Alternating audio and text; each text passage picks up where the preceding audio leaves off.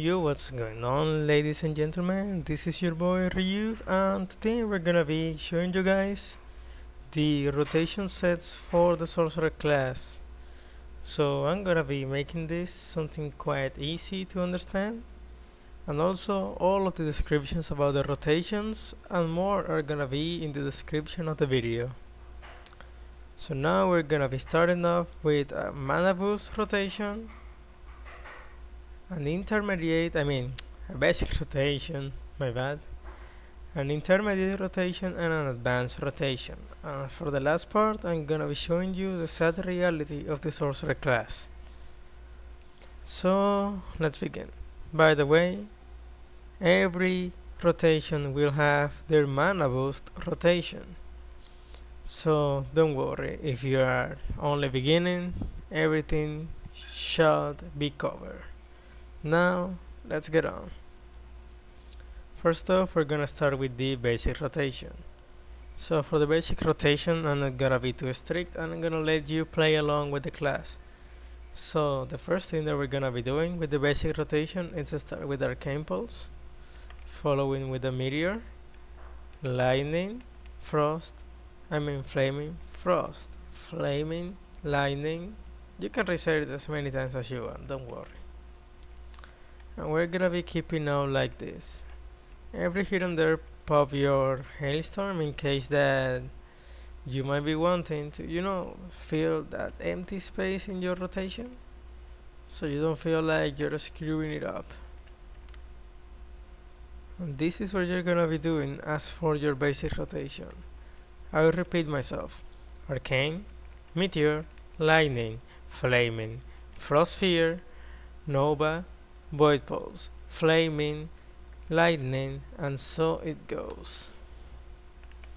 Of course, there comes the fact that you can reset your lightning as many times as you want, since it'll be the best option for you as a sorcerer. But since you're only beginning, the best thing is to, at least, learn your cooldowns and focus on what's going on your screen and not only on being DPS. Okay, now for your mana boost rotation, we're gonna be using, you know, mana boost, a brooch. Not all the brooch are exactly a quadrufold, but you may have your quick curve, and so I will go. You're gonna be spamming all of these skills. It's basically the same rotation as if you were playing without it, just that every here and there, in case that you were actually doing the rotation pretty well, you might be finding yourself using a painful trap or a flaming pillar. Now that also depends if you manage to reset your lightning strike and to reuse it as many times as you can. But that's gonna be it for the basic guide.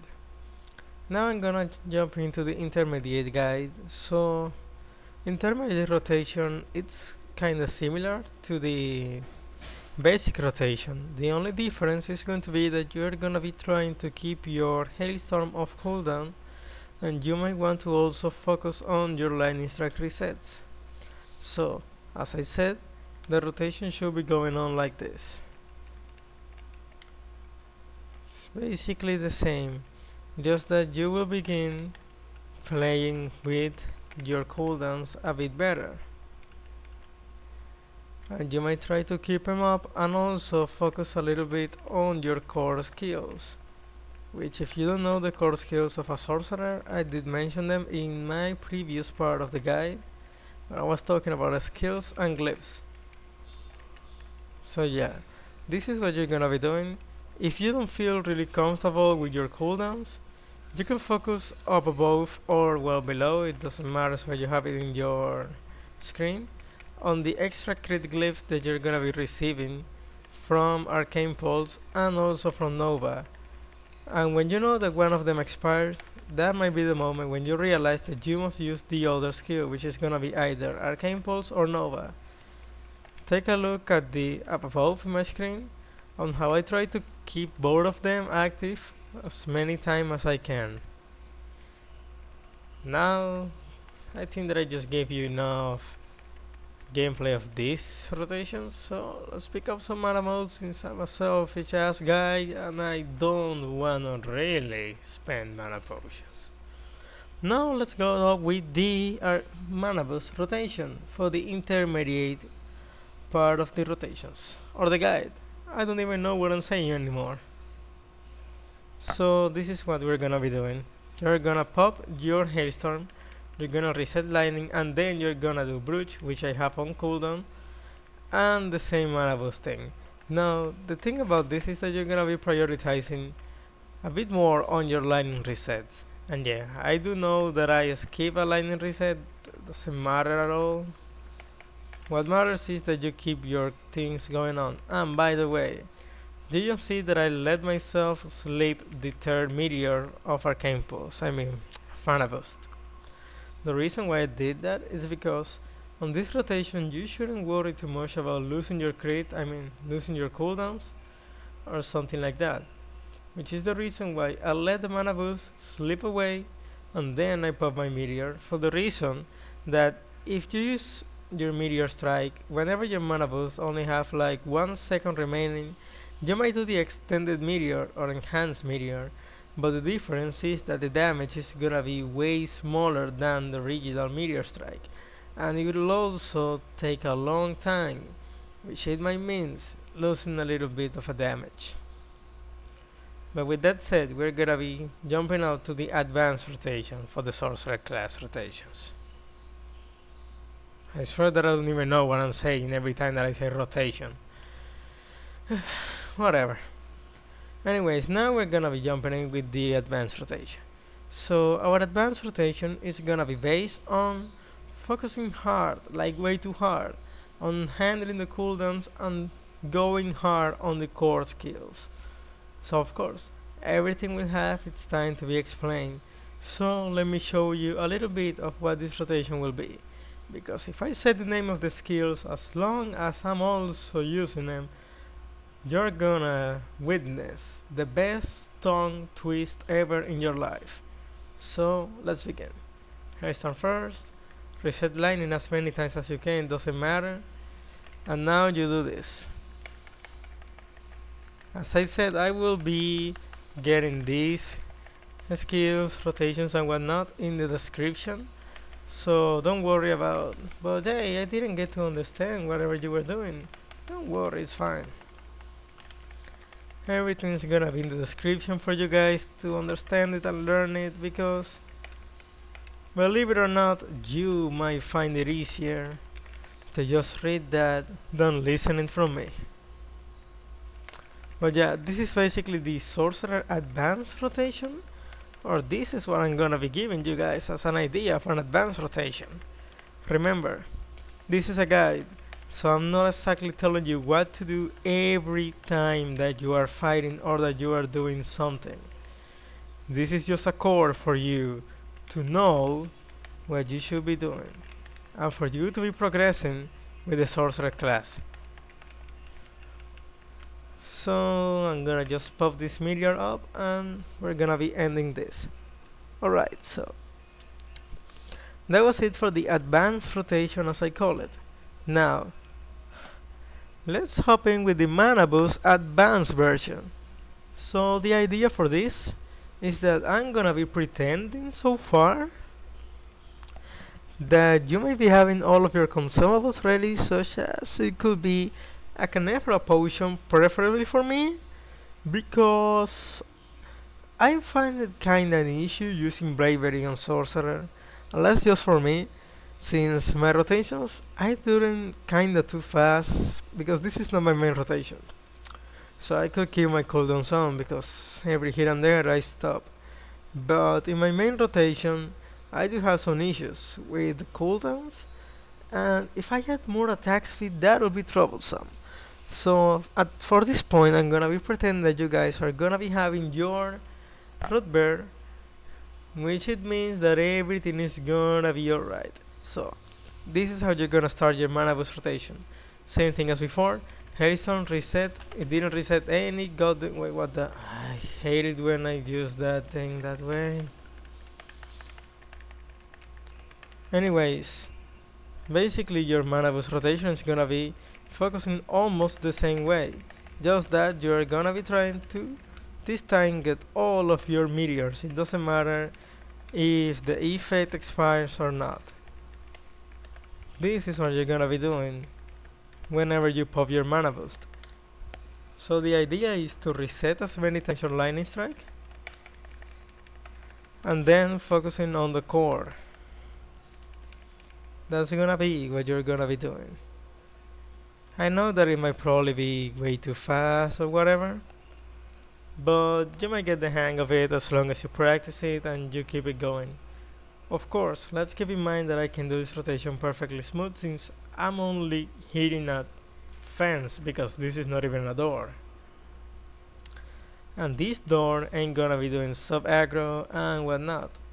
Now about how I deal with sub aggro and actually a real boss fight, that'll be shown in the last part which is gonna be the third part of my sorcerer rotation.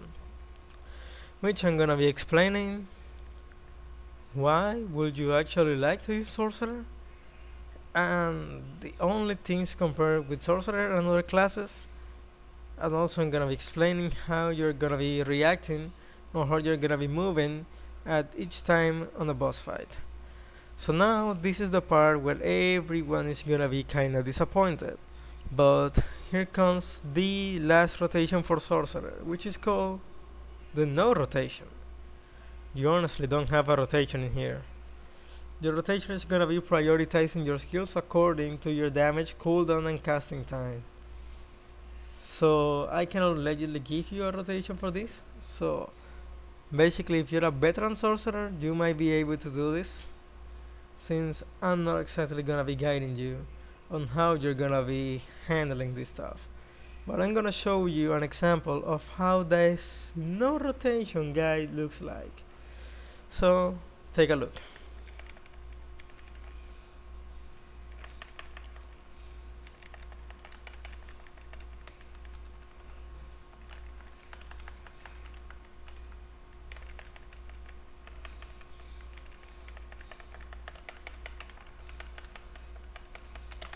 As you can see, I'm basically just popping up every skill that I find. And yes, actually Lightning Strike is a prioritized, even more prioritized than Arcane Pulse and Meteor. Simple fact that Lightning have an even better chance to crit. It have a lower cooldown, and it also, I don't know, it looks pretty. And yeah, I know that last example was actually awfully retarded. But there's something that I need to mention to you guys, and it's that whenever you're running, right now I have a Mystic, since I don't want to get a priest to be, I don't know, spamming energy stars on this fence as many times as they can just to help me out with this. But lately, if you're playing with a priest, the gameplay is gonna be a bit different, since you're gonna be having an extra 5% cooldown reduction which is going to be giving you somehow an advantage for you to be getting your rotation a bit better. This either goes for basic, intermediate, advanced, and minor rotation stuff. So keep in mind to don't screw up whenever you're playing with a mystic after being playing a lot of time with a priest. So yeah, I think that this is gonna be it for this rotation guide. For some kind of reason you guys want to see how do I manage to handle all my mana boost, well, here you got it.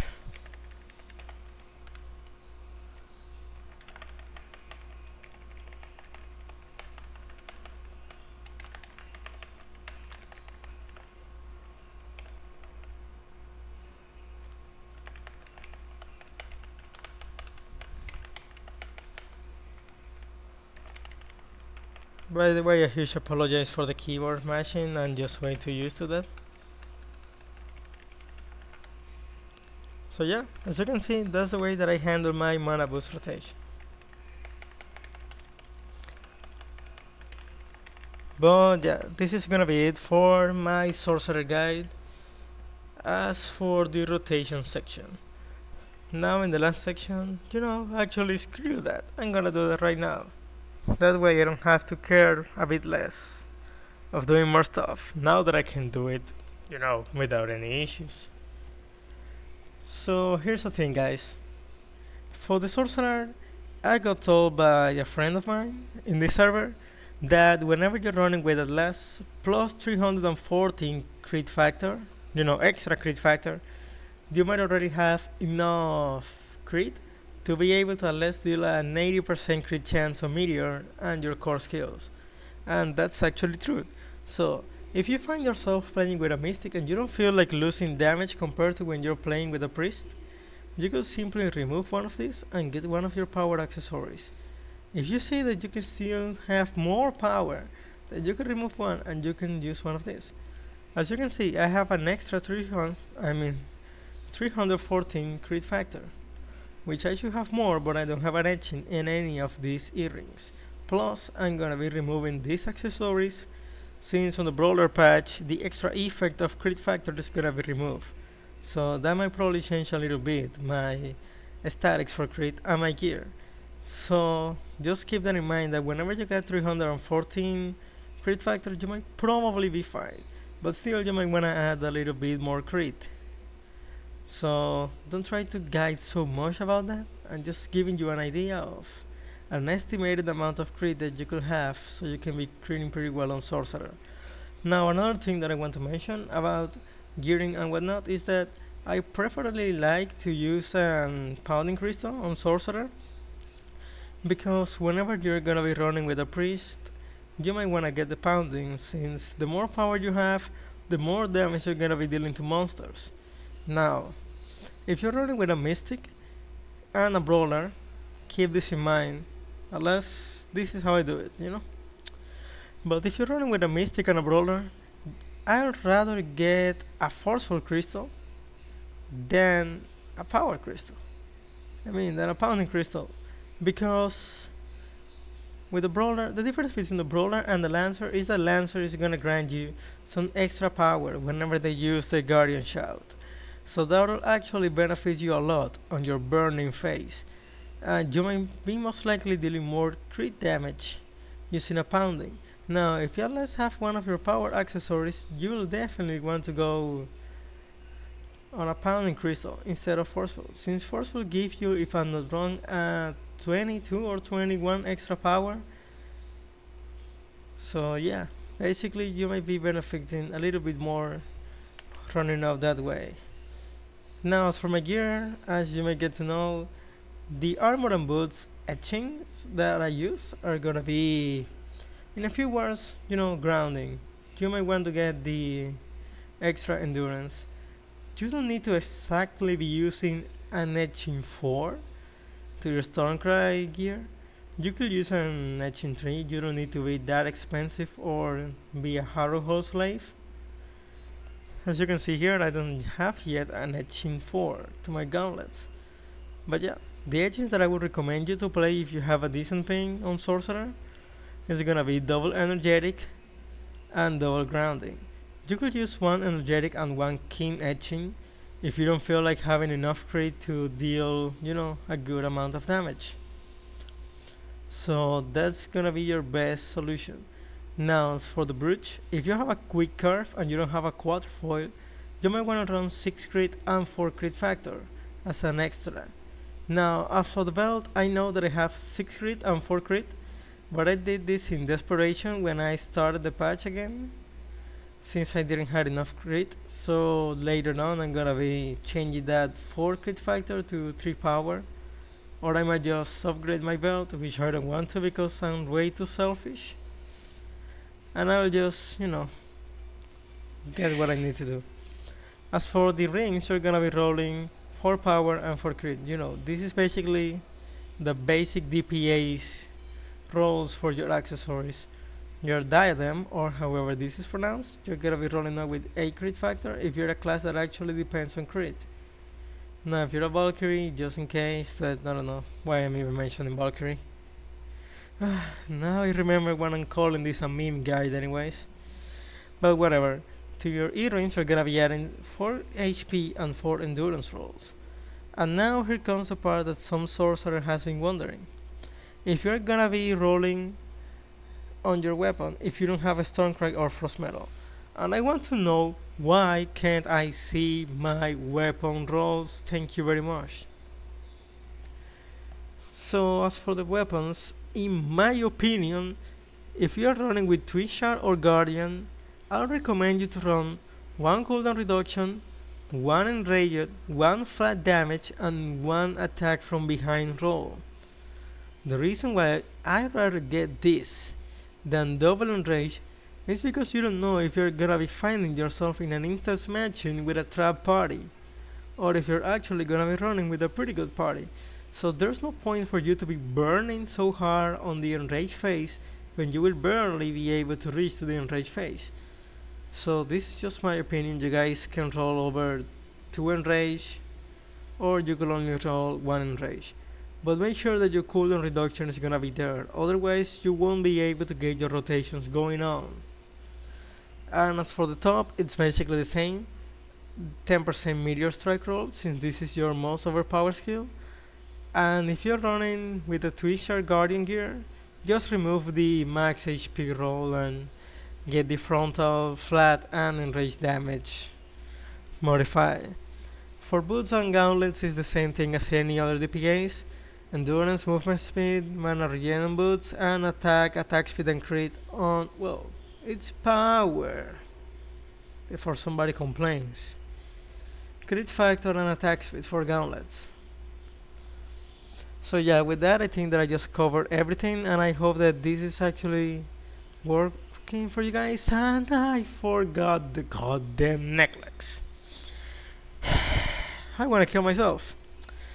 But yeah, the necklace as you can see it's a 4 power roll, the one that you're gonna be picking since Honestly, 4 power is better than 4 crit. You might notice this later on when you realize how much could your damage change just by adding even 2 power to your basic stats. So yeah, that's gonna be it guys. Everything that I mentioned about rotations is gonna be written in the description and I'm also gonna be trying to get enough space in my in the description of the video to add the rolls for the weapons and whatnot. Oh, by the way, you don't exactly need to get the extra 24 crit factor in the wear. Like, you know, this is only min-maxing, but you don't necessarily need this. You could even run with your 12 crit factor, 16 crit factor, 20, the one that you feel more comfortable with. But yeah, now I can actually say that this is gonna be the end of my guide. So I hope that this was really you know worth of your time and that this could actually help you out so if you wanna kill me or something like that just let me know in the comment section if you have any doubts and thank you very much for watching. See you on the next video